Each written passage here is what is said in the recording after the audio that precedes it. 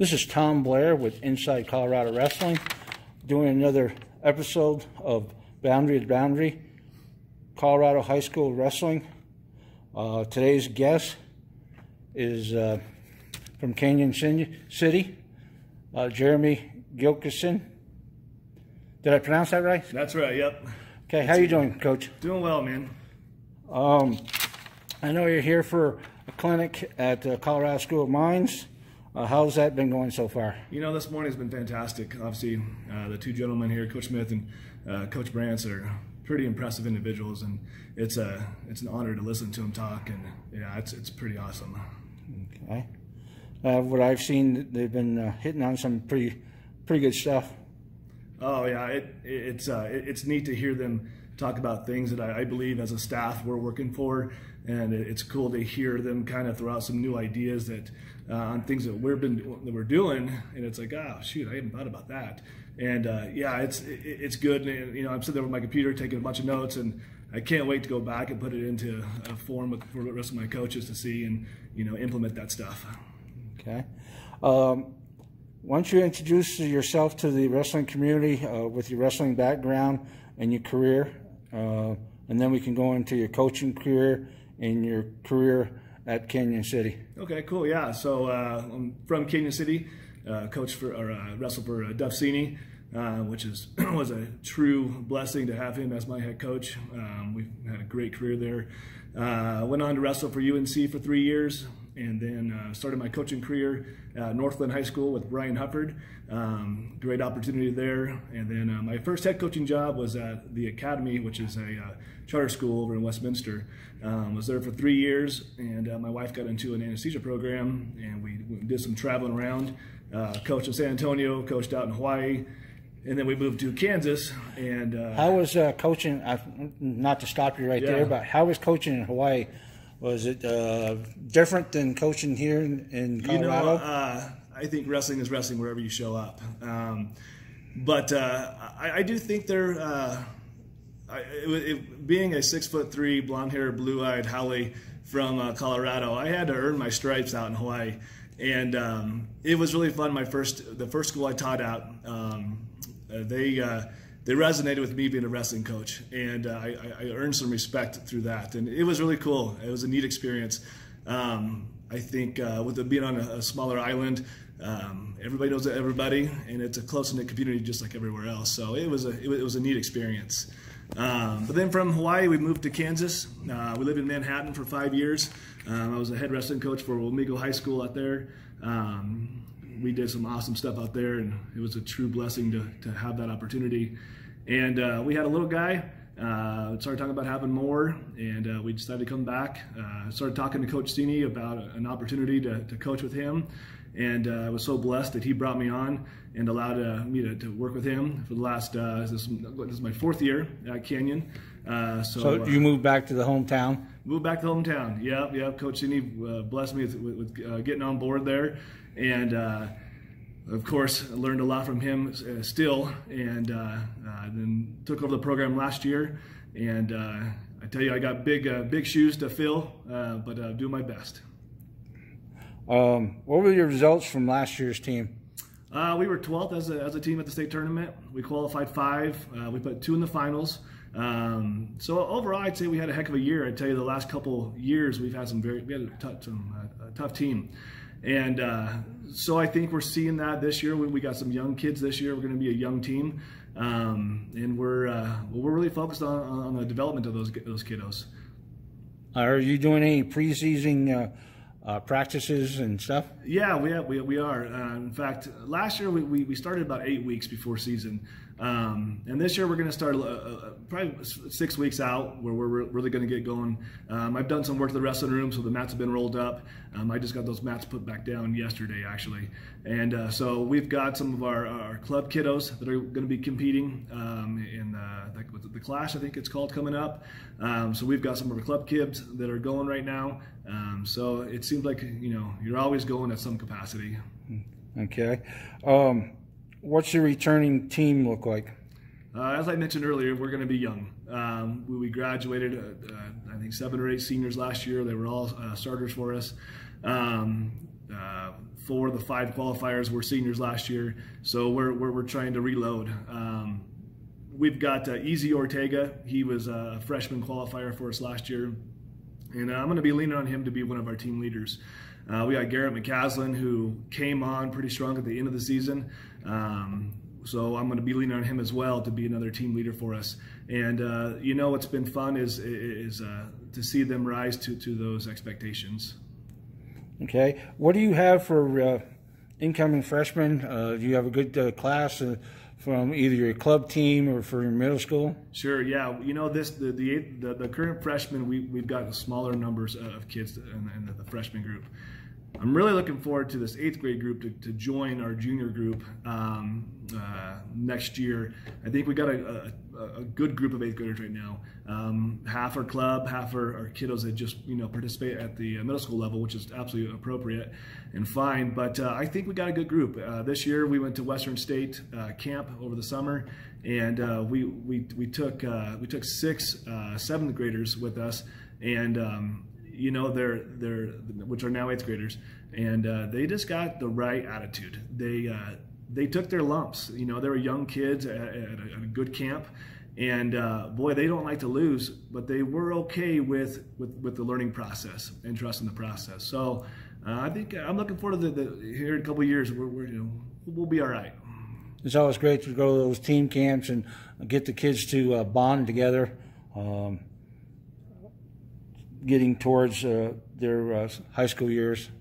Uh, you know, I uh, we're, we're uh, our club coach is, is a fantastic uh, gentleman, Chris Montoya. He's doing a really good job of, of, building our young kids, and we had a discussion about maybe we should bring in some talent to Canon and maybe host a camp instead of taking the team camp.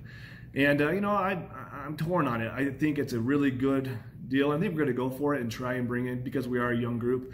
Uh, but getting kids away from home, getting them together, forcing them uh, to, to bond uh, away from their, their families, I think it's, it's, it's priceless. I don't know you could put a price on it. And uh, you know, it, uh, we have a family cabin in South Fork, and so what I did with my program in Kansas is I would bring them there for two or three nights, and then we'd go on to Western State for camp. And I did it this year, um, this summer. And uh, you know, again, we had this group of really young kids, and then we had some juniors and seniors. And uh, I put them in my cabin, and you know, that first couple hours, they didn't do a lot of talking or hanging out. And then all of a sudden, um, the phones went away, and they started becoming a, a, team and a group. And, and, then we get the campfires going and get the s'mores going, and uh, it's really neat to see them gel. And then you throw them out in competition, and then they have to go back to their dorm rooms with their teammates.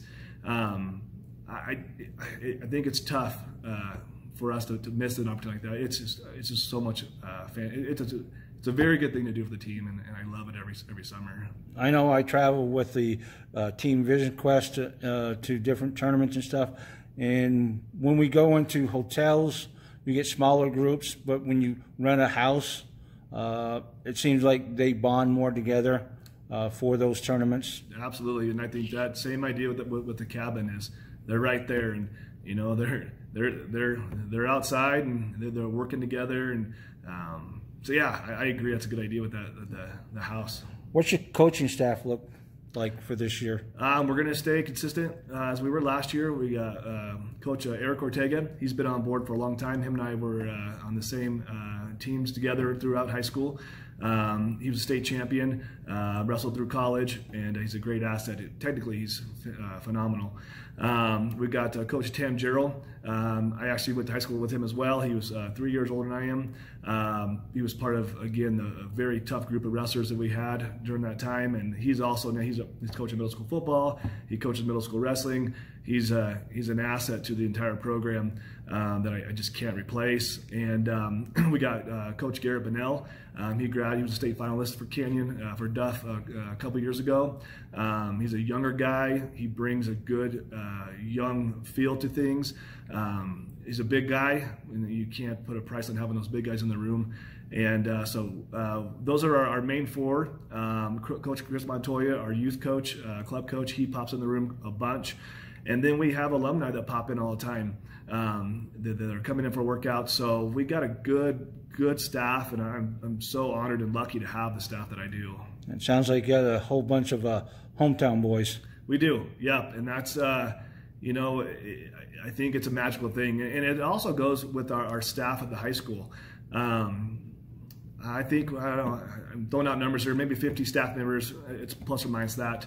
But uh, I think we got about 40% of our staff members who are alumni of Canon City High School. And uh, I, I, don't know, I've never been anywhere else that, that has that type of uh, mentality and commitment to, uh, you know, coach has been talking Tiger style, and we are the Tigers. And it seems like that's what we have. We have a bunch of committed uh, individuals to Canon City and uh, who believe in Canon City. So it's, you know, Coach Cini, he had the right. I mean, he had the right thing. It, it, Thirty years there, and I can see why he was there for so long because it's a great community and a great place. What's your season schedule look like? Uh, still putting together. I think the rest of us are all starting to get it figured out. Um, but uh, you know, we've dropped a couple tournaments. Um, like I said, Coach Cini, gosh, he had a couple just solid teams that he and he had a, probably one of the most uh, rigorous schedules that he's probably ever had. And we stick we stuck with that schedule last year. Um, this year we're going to drop some of those. We're going to drop NCCT. I just don't think we're there right now. Uh, I'll pick them up back in a couple years. And uh, there's a few other tournaments we're looking into getting into. Um, we still have some of the old classics that we've had for since I've been there. Um, so it, it's a good, uh, well, well-rounded schedule, I think. Um, we still go out to Garden City. Um, I can't break that tradition. And uh, so, yeah, I think it's a good schedule. And I got a few more things to tweak, and we'll see how it goes basically ba- uh, breaking the schedule down to fit your uh, team's needs and in your quality of wrestlers? Yeah, you know, and I it's something I'm having to get get accustomed to. In Kansas, um, we we we didn't change our schedule very much. It was pretty straightforward. You rarely dropped a tournament. You rarely changed anything. We had our league duels, um, so our schedule was pretty consistent year after year. And uh, one thing I'm having to learn, uh, and Coach Tyler Cini over at uh, Cheyenne Mountain, gosh, he's been a blessing to me. And you know, I, I, it seems like he's he's not afraid to change things up and really accommodate his team. And so I'm having to learn that it's okay to change things up. It's okay to go out and find something different. And uh, so it's been a unique experience me the last couple of years here. That's what a lot like uh, Coach Branch was saying: change things up.